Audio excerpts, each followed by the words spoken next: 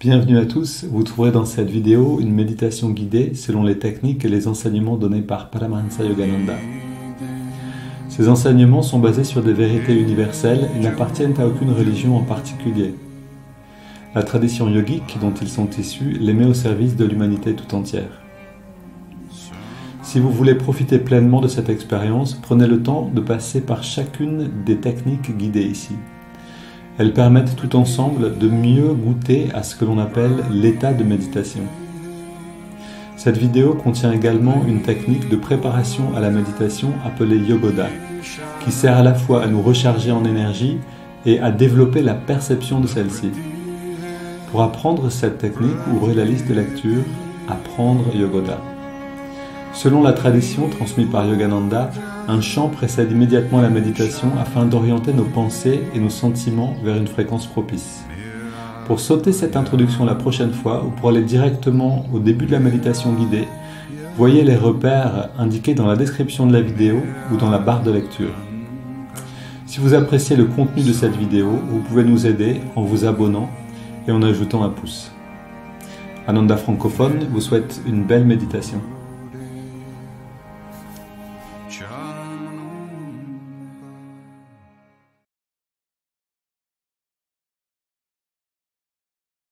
Be sensitive to their realities. You have to be sensitive to life and the way it is. But always, the question to ask, and this is where science has been very helpful to religion.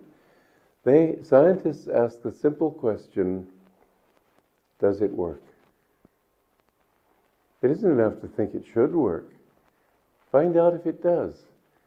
This is how science, back at the very beginning of scientific investigation, they decided they didn't know the answers to questions like is there a God or are there angels or all those things that are so fascinating. They said really the only questions we can answer definitively are related to mass, weight, and motion. That's pretty basic and pretty pedestrian and kind of dull.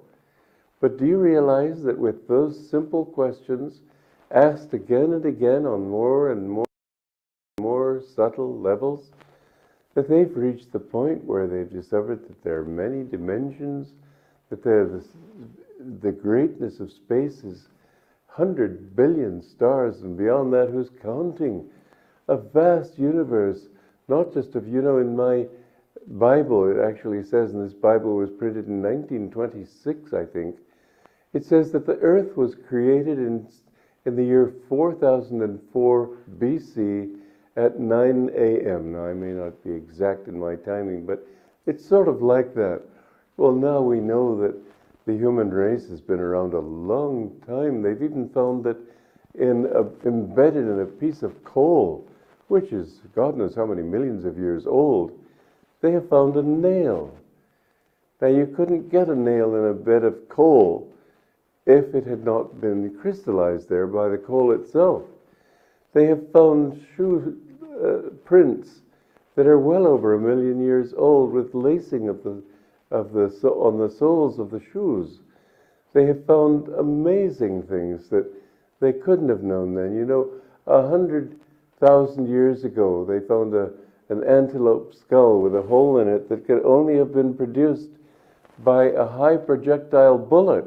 It, it had been a spear or an arrow, it would have shattered the skull. This was just a clean hole. Test your truths, because science has brought us to the point where it's almost on the border of religious experience. Understand that far beyond that there is a high and wonderful truth, and that that truth can never die. That is the truth that we are seeking in religion, not how many atoms are there in a molecule. That's trivial. But the truth of your being, who you are in relation to the universe, this is the truth that religion asks. This is what takes religion beyond science. As Master, as my Guru put it, the yogi becomes the atom. The scientist can only discuss the nature of the atom. Become the atom that is your own true self. Joy to you. Oui, donc on entendait Swami Kriyananda qui disait encore une fois des choses intéressantes sur la religion et la, euh, et la science. et des choses surprenantes, comme cette empreinte de chaussure avec un lacet qui a été retrouvée et qui date d'un million d'années ou de peut-être plus que ça. Des choses qui sont qui dépassent largement notre euh, vision, on va dire scolaire ou normale de de notre histoire, de notre euh, histoire, de notre humanité. Et ça me, ça me faisait penser aussi à ces prédictions, par exemple, d'Edgar Cayce, qui parlait de l'Atlantide. Et alors, moi, je suis pas un défenseur fervent de l'Atlantide ou pas, je sais pas. Mais c'est intéressant de voir qu'il a prédit, par exemple, que en 69, je crois, je crois que c'était en septembre 69 ou une année par là, euh, donc bien après sa mort à lui, on trouverait des signes de l'Atlantide à tel endroit au large des Caraïbes, dans l'océan. Et puis à ce moment-là, en effet, euh, en septembre de cette année-là, les gens ont découvert, je sais plus qui a découvert des ces énormes marches qui descendent dans l'océan comme ça et qui ne peuvent être qu'avoir, euh, qui ne peuvent avoir été que créées par l'homme. Donc il y a ce grand mystère. On est ici à penser qu'on comprend les choses, qu'on a, on a une vision du monde qui est euh, en réalité très limité puisque basé sur ce qu'on a euh, engrangé ici et non pas sur une expérience directe. Et donc le tout ici est de rentrer dans l'expérience directe plutôt que dans la croyance finalement. On a besoin de sortir de ce bain de croyance pour faire l'expérience directe. Ça c'est le, le, message de Yogananda. On va l'entendre aujourd'hui très bien résumé dans un petit texte que je vais vous lire tout à l'heure. Et pour maintenant, on va commencer avec Yogoda.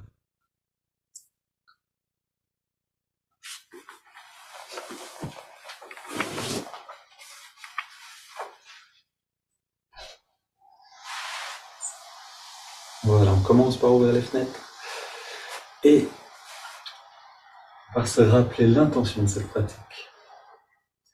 Ô Esprit infini, recharge notre corps avec ton énergie cosmique notre mental avec ta concentration et ta détermination, notre esprit avec ta sagesse et notre âme avec ta joie toujours nouvelle. L'éternelle jeunesse du corps et de l'esprit demeure en nous pour toujours. Et on commence, bras tendus devant, tout inspire, on contracte tout. Et on relâche complètement.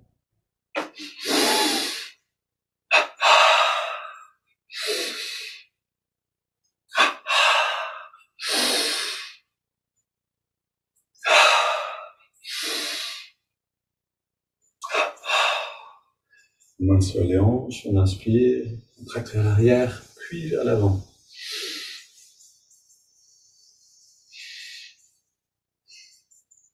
Et soyons comme ce scientifique qui travaille dans le laboratoire intérieur du corps humain et de la conscience. On devient conscient de ce qui est maintenant dans le muscle engagé. Au-delà de ce qu'on croit c'est-à-dire, ok, c'est simplement des muscles, c'est simplement le mollet. Essayons de percevoir qu'est-ce qui est vraiment là au-delà de notre habitude de perception. Ici, c'est avant-bras, mollet gauche. Maintenant, cuisse, biceps.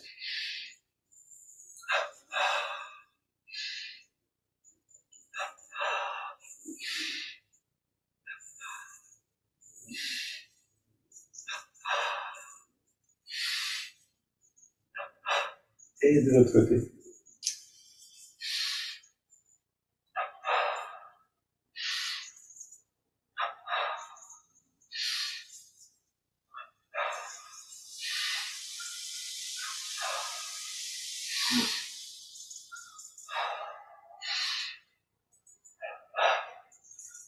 Deux côtés ensemble.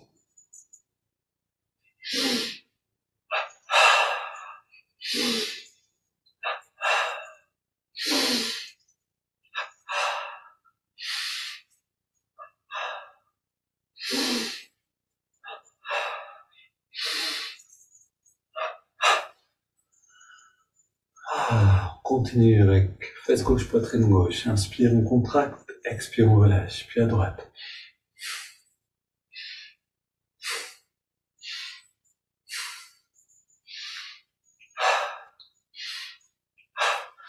Les mains au niveau des lombaires, on contracte sous la main gauche, sous la main droite. On envoie un flux d'énergie à cet endroit-là. De plus en plus consistant. Ici au milieu du dos maintenant.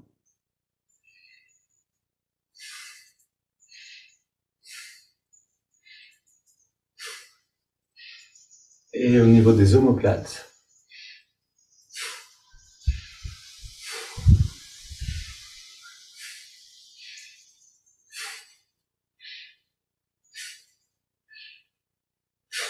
mains sur les épaules, trois grands cercles vers l'avant en engageant les muscles dans les bras et les épaules. On contracte le cou tout entier. Trois fois, puis à gauche et à droite.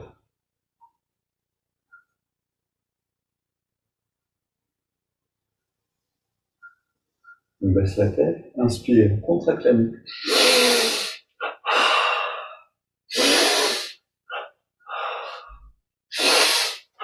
Et on trouve une satisfaction à sentir cette fraîcheur. C'est pour ça que j'ouvre constamment. J'essaie de doser la fenêtre. Fraîcheur à chaque inspire. Trois petits cercles, cou tendu. Trois grands cercles, cou détendu.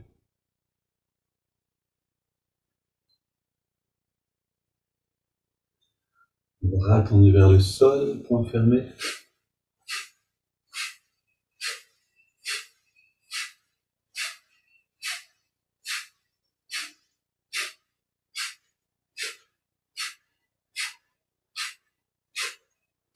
Mains sur les hanches.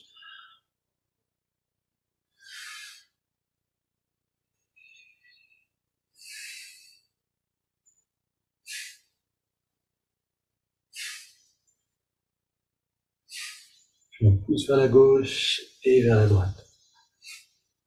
Avec intensité, on agit sur les muscles le long du dos. Puis on amène la conscience dans le vertèbre elle-même.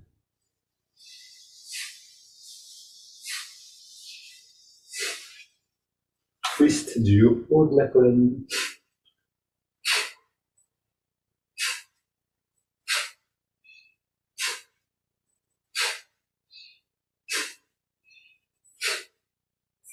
On tapote sur la tête.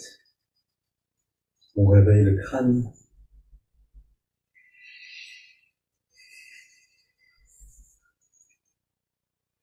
Et on masse le cuir chevelu profondément. Alors vous voyez, on commence par le bas, on commence avec les pieds, on termine avec la tête, puis on va recommencer et remonter à nouveau.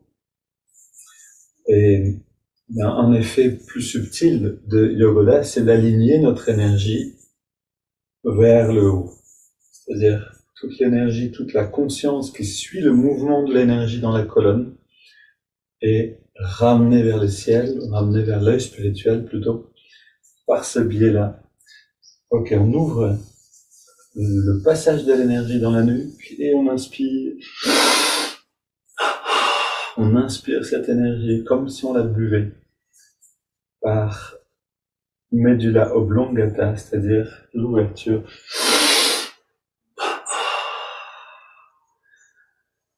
On crée ici.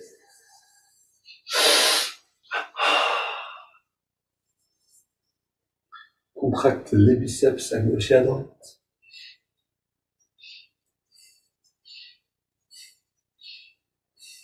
On contracte tous les muscles. Encore une fois. Puis juste le pied gauche à l'inspire. Et on le relâche à l'expire. Puis le pied droit. Pareil, on relâche ensuite. les gauche, on relâche. les droit. Cuisse gauche, rappelez-vous que l'enjeu est grand dans cet exercice-là, cuisse droite. C'est celui d'apprendre à contrôler l'énergie dans toute partie du corps. Face gauche, face droite bas du ventre, haut du ventre, avant-bras gauche, avant-bras droit, biceps à gauche et à droite, poitrine gauche, droite, le cou, gauche, droite, devant et derrière. On contracte maintenant le pied gauche et on garde, on ajoute le pied droit. On garde contracté, on ajoute mollet gauche, mollet droit. Cuisse gauche, cuisse droite. Fesse gauche, fesse droite. Bas du ventre, du ventre. Avant-bras gauche et avant-bras droit. Biceps, les deux. La poitrine tout entière. Double inspire tous les muscles. On relâche le cou. On relâche la poitrine à droite et à gauche. L'épaule et le biceps droit. L'épaule et le biceps gauche. L'avant-bras droit, l'avant-bras gauche le haut du ventre, le bas du ventre, fesse droite, fesse gauche, cuisse droite, cuisse gauche, mollet droit, mollet gauche, pied droit, pied gauche. Double inspire. Encore une fois, tous les muscles. Et on continue. Inspire, expire. Avec intensité dans les deux sens. Inspire, contraction ici, détente. À l'expire.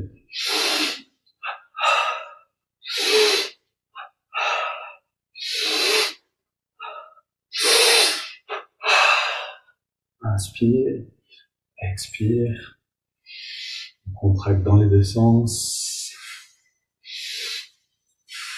On garde contracté, petit cercle, bras tendus dans les deux sens aussi et vers l'avant.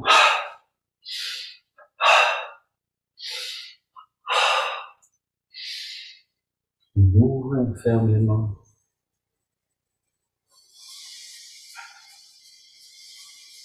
Dans les quatre directions.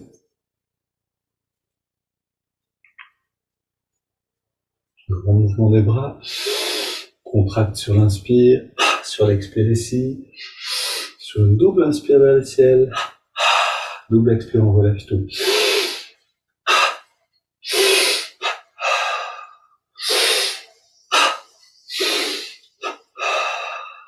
Inspire. Et à droite.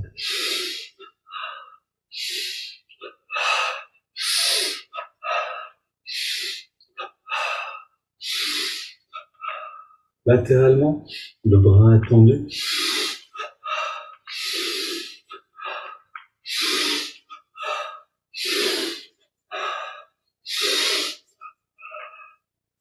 sur place. Et on répète cette affirmation jusqu'à ce qu'elle s'imprime, elle s'incarne dans notre mental, dans notre attitude. Je suis positif, énergique, enthousiaste. Regard redressé et on court sur place.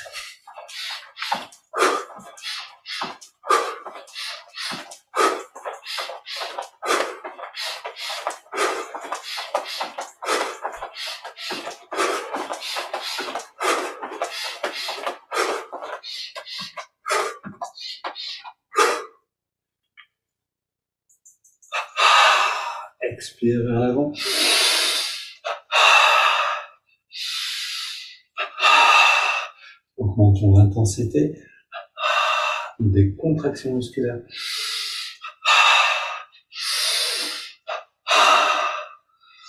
Inspire, on soulève derrière. On relâche devant. Inspire, on soulève devant. On relâche derrière.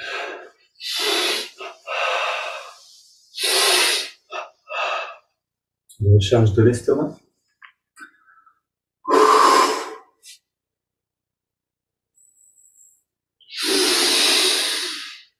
Recharge deuxième mouvement.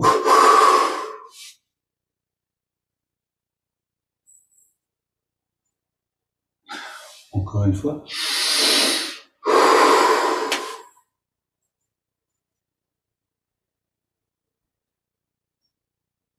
Ok, inspire.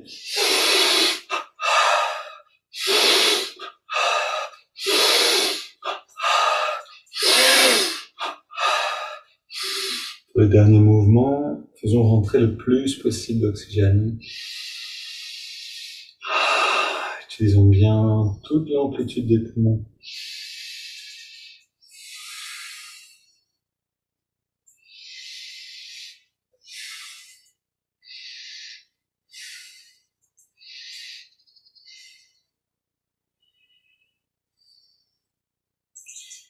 Et on termine avec les hanches grand cercle, jambes tendues.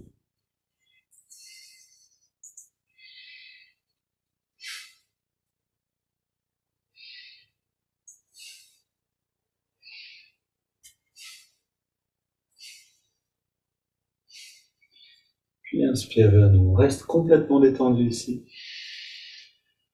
Expire, on ramène les mains vers l'avant. On laisse notre conscience, on continue de cette manière, inspire vers nous, expire vers l'avant. Lentement, on laisse notre conscience passer vers une dimension plus subtile.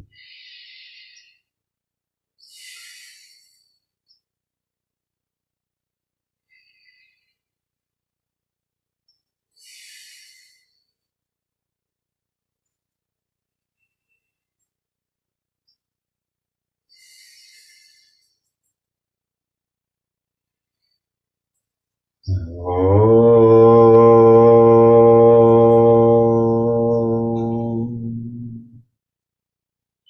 les bras détendus long du corps, les yeux fermés, le regard légèrement redressé pour attirer toute l'énergie qui est maintenant disponible en nous, pour l'attirer vers l'œil spirituel.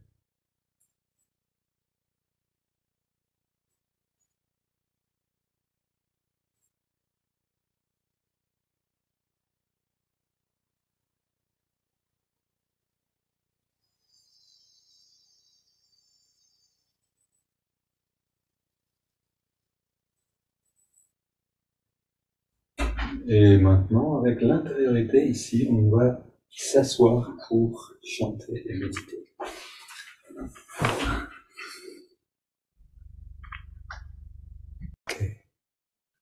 Donc, pour commencer, et pour commencer ce chant, on commence par s'intérioriser un peu.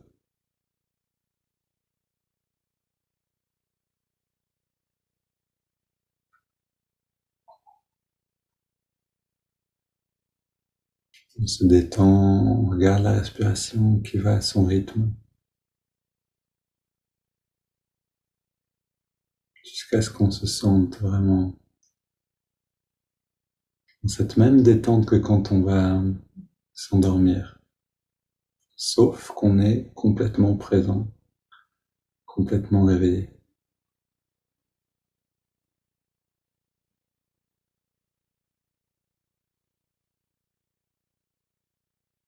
On sent la zone de la poitrine, zone du cœur.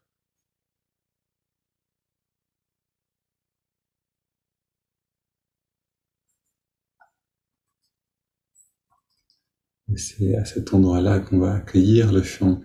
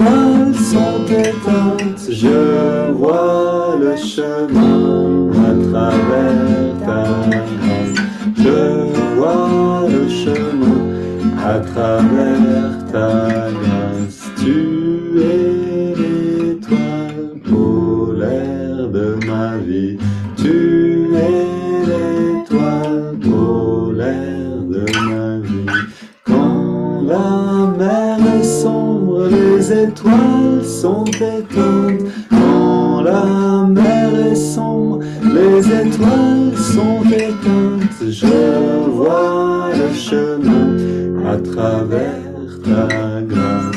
Je vois le chemin à travers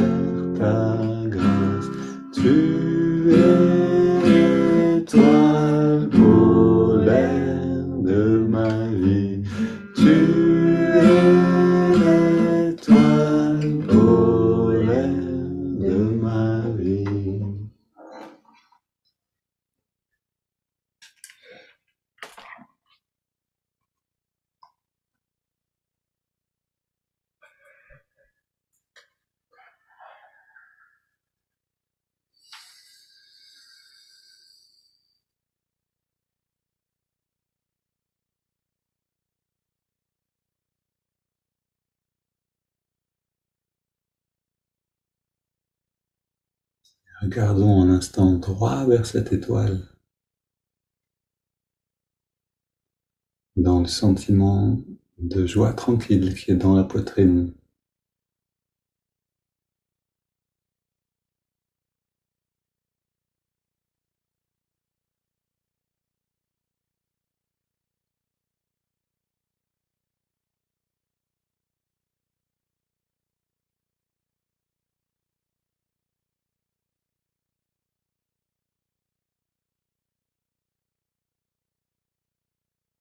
Et on garde ce sentiment-là pour aller dans les préparations à la méditation. On inspire profondément. Expire profondément également avec ce mouvement du ventre au début de l'inspire qui ressort et à la fin de l'expire, donc qui rentre.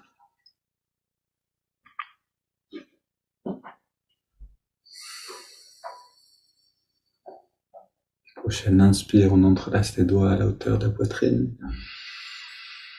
Expire, on pousse les mains vers l'avant, on arrondit bien le dos. Un bon étirement du dos, ensuite vers le ciel à l'inspire. Expire, on se penche vers la gauche. On laisse le côté droit s'étirer. Inspire, retour au centre et expire vers la droite.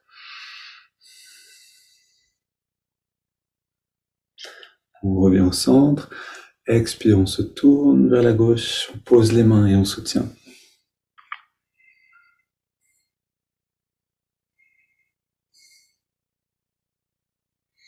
Puis on revient au centre. Essayons d'aller toujours le plus loin possible dans les rotations, dans les mouvements. Expire vers la droite.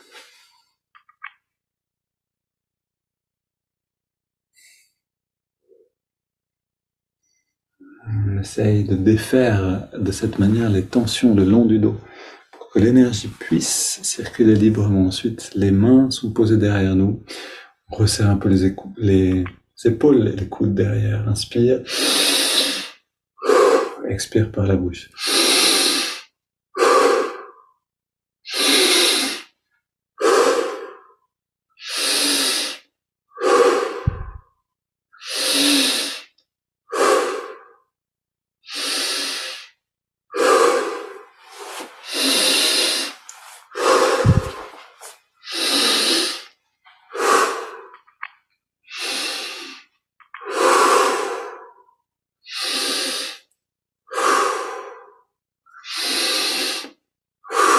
Maintenant, on augmente progressivement l'amplitude de chaque respire.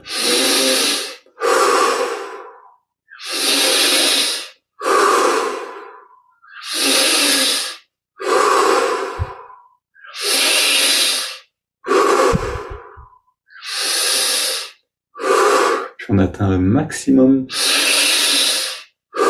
d'amplitude et d'intensité.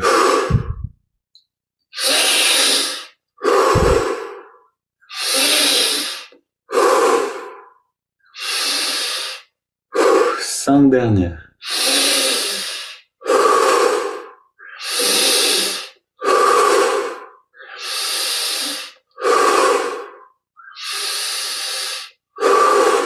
La dernière. On revient au centre, les mains sur les cuisses, paumes vers le ciel, dos dressé, les yeux fermés.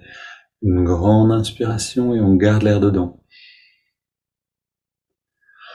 On retient le souffle et on détend bien tous les muscles. Le plus possible. puis on laisse l'air sortir par la bouche sans faire aucun effort.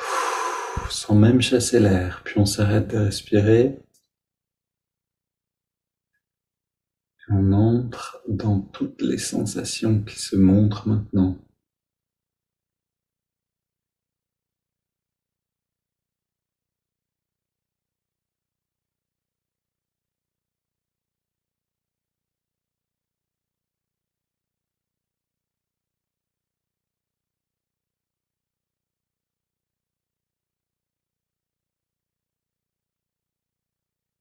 Puis on inspire profondément. On garde l'air dedans, on rentre le ventre, on contracte le périnée, un regard bien dressé, et on relâche, on expire. Gardons l'attention dans le lobe frontal. Et on laisse le corps respirer à son rythme quelques instants.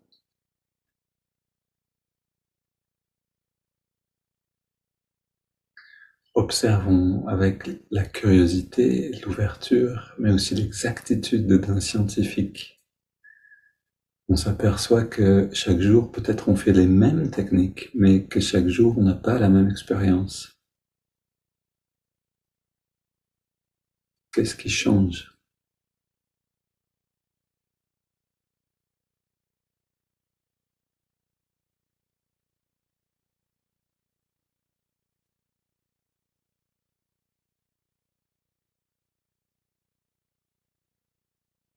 Maintenant, une double inspire par les narines. On garde l'air dedans, on serre tout, on se contracte euh, tous les muscles, on serre les poings. Puis expire, on détend tout. On commence.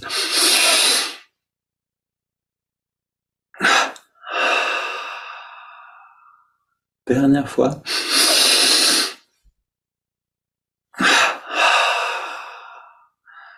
On reste dans la grande détente que nous permettent les contractions détentes et on inspire sur 5 par les narines.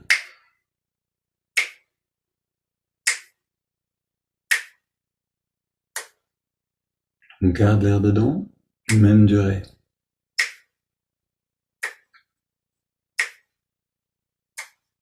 Et on expire en sentant cette détente non pas seulement physique, mais aussi nerveuse, émotionnelle. Inspire à nouveau, ressentant l'énergie qui remonte le long de la colonne. Garde l'air dedans et on sent l'énergie qui vient jusque dans l'œil spirituel.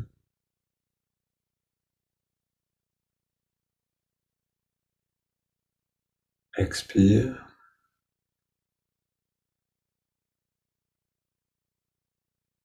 Un rayonnement de lumière depuis le lobe frontal. Inspire à nouveau.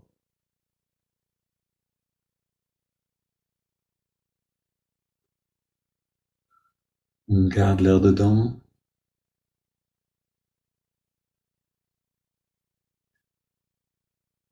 Expire.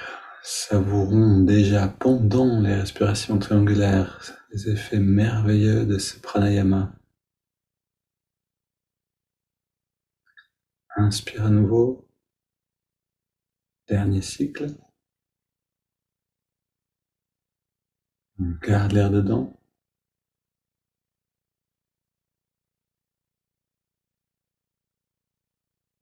Expire.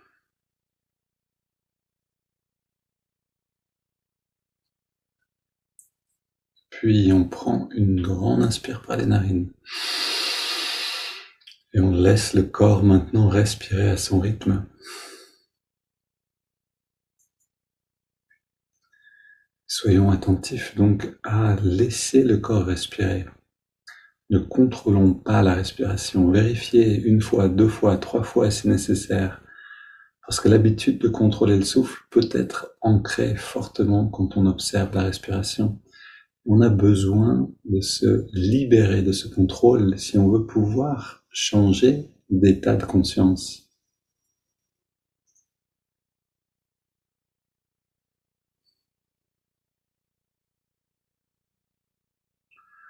Et dans cette détente, écoutons ces quelques mots de Yogananda à propos de la science et de la religion.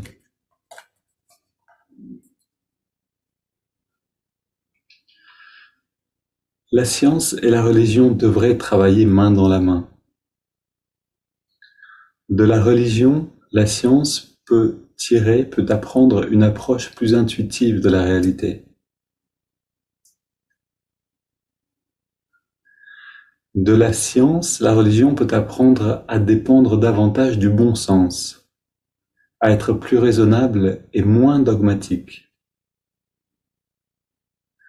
Les religieux devraient avant tout apprendre à tester leurs croyances, tout comme le fait la science. Les chefs religieux devraient encourager les gens à prouver les enseignements de leur foi dans leur propre vie et à ne pas se contenter des affirmations des autres. Je relis cette phrase.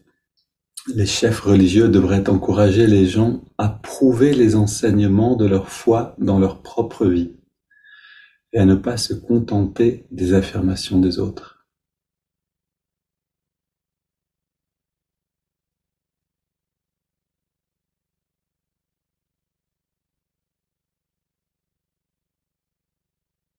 Soyons la preuve vivante de la véracité des enseignements qui nous inspirent.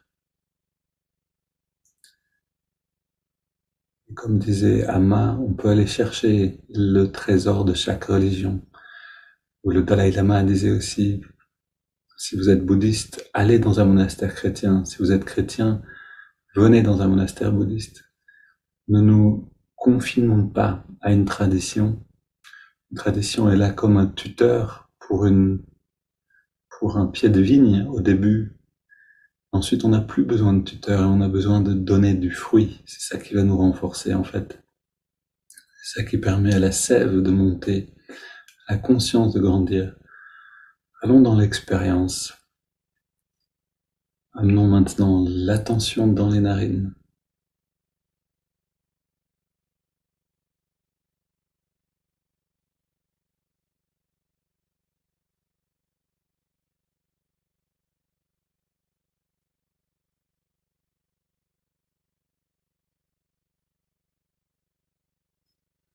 On commence par trouver l'endroit où on sent l'air le mieux. À cet endroit-là, on ressent la fraîcheur de l'inspire et la tiédeur de l'expire.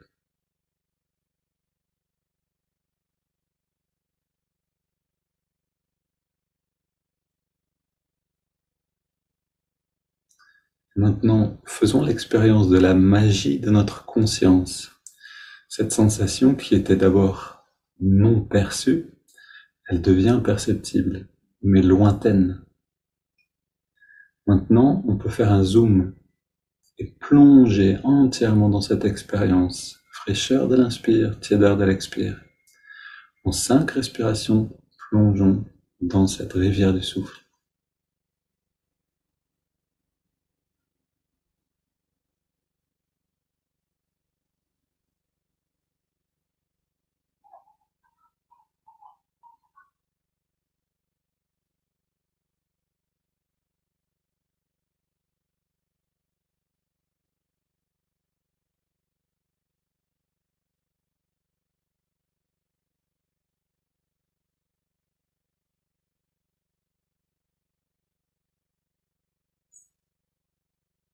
On devient fraîcheur, on devient tiédeur à chaque inspire, à chaque expire.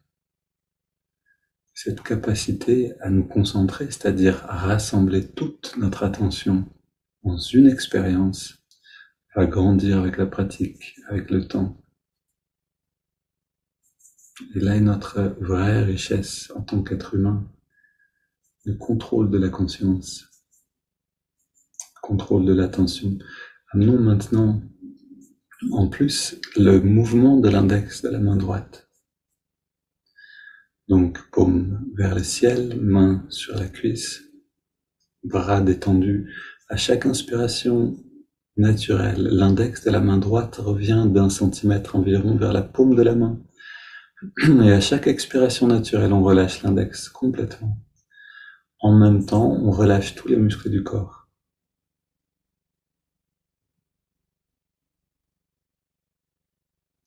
À chaque expire, on détend un peu plus tout le corps.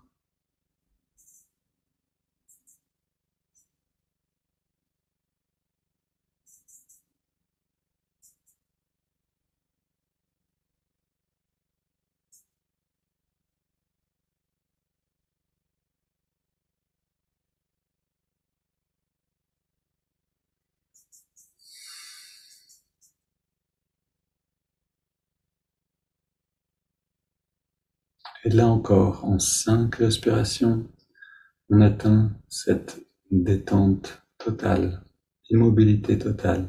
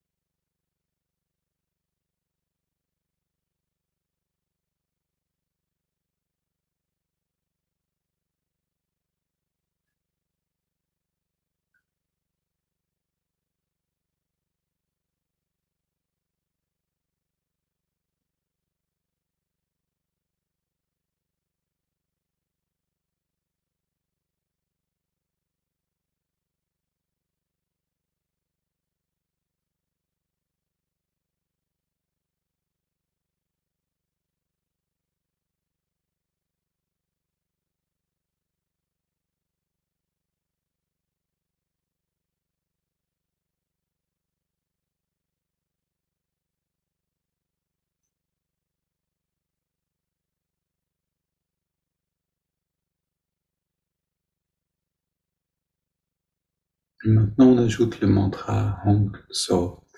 Hong accompagne chaque inspire, signifie je suis. So accompagne chaque expiration naturelle et signifie c'est là ou ce qui est.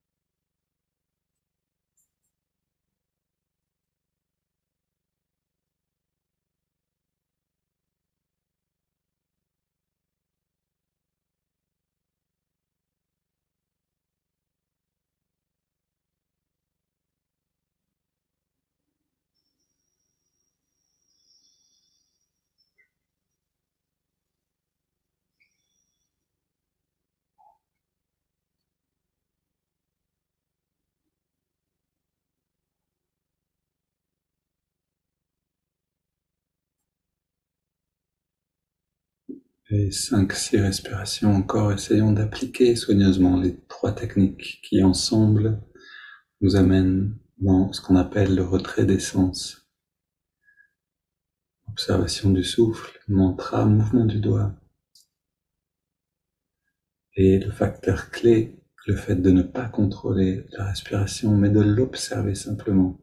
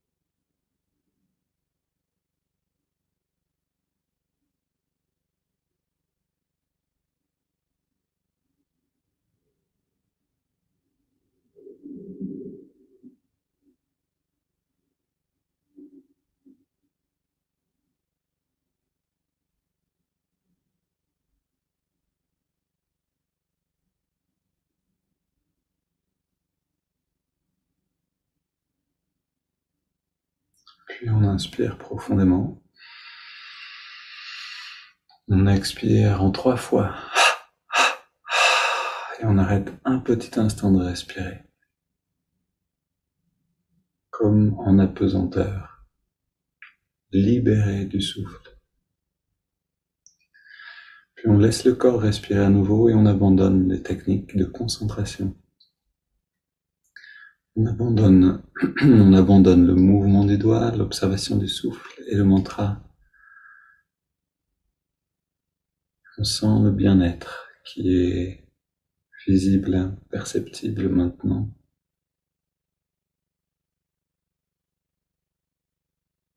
Comme une lumière qui grandirait dans toutes directions à la fois, laisse bien-être grandir et inonder chacune de nos cellules.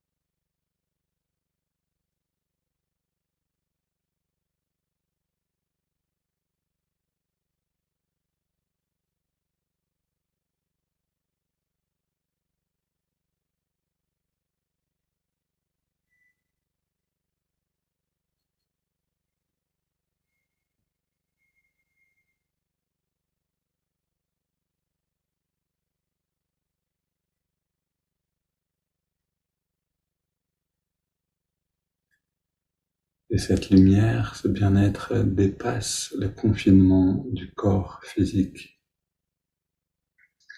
Notre conscience devient plus subtile.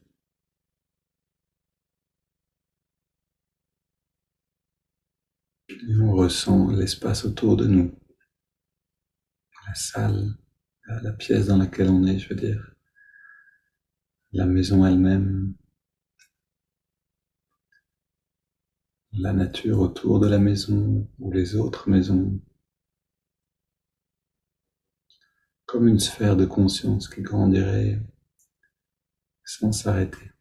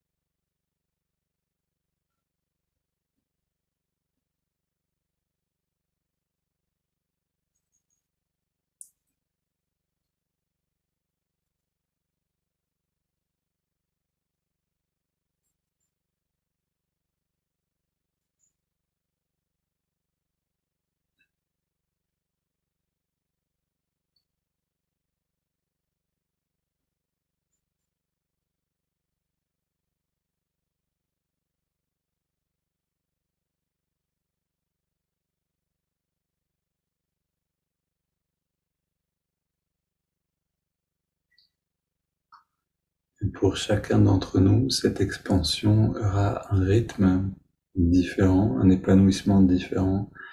Vivons-la de l'intérieur intuitivement pour ne pas l'interrompre avant que ce soit terminé, mais aussi pour terminer quand c'est terminé et garder de l'appétit et de l'envie pour la prochaine méditation. Une belle journée à tous et à très bientôt.